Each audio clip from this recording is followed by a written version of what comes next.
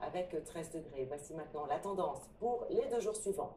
Ça va nous donner, eh bien, pour dimanche, un petit front secondaire qui devrait sillonner les régions du nord avec de la pluie ou de la pluie et de la neige mêlée. Un peu de vent en bordure des côtes, puis on ira vers le sud, le soleil l'emportera.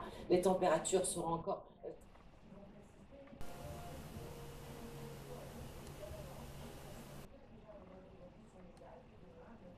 situation diversement appréciée par les chauffeurs.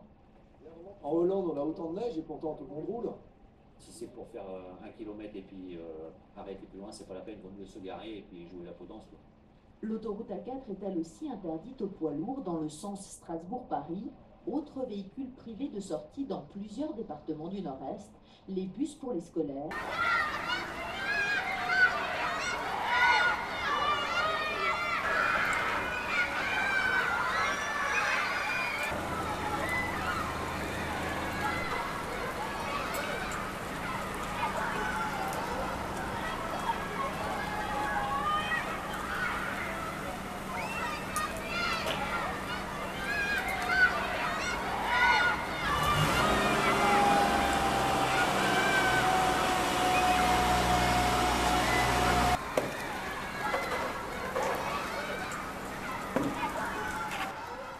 Les premiers flocons sont tombés la nuit dernière dans la région de Lille, mais aussi dans l'Avenois. monstre notamment entre Metz et Thionville.